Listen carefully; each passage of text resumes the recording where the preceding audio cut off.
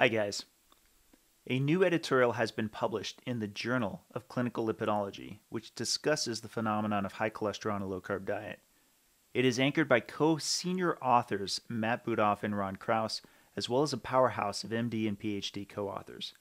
The paper explores the emergence of the lean mass hyperresponder phenotype, its active discussion on social media, and recent published papers examining this profile.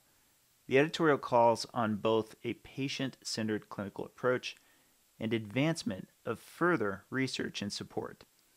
It concludes The authors of the present letter advocate that all individuals whose LDL cholesterol levels substantially increase on ketogenic diets should consider implementing lifestyle change and or pharmacologic therapy for lowering LDL cholesterol and ApoB.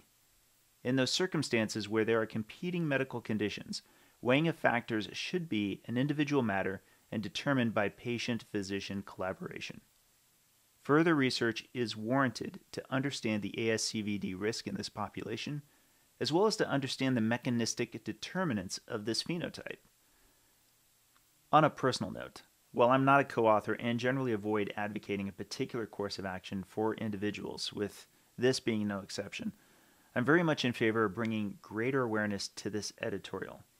It seeks to strike a strategic balance between conventional lipid management and emerging considerations of metabolic health for those adopting a low carb lifestyle.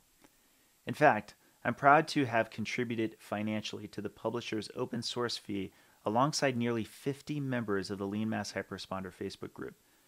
That was accomplished with support through the Citizen Science Foundation.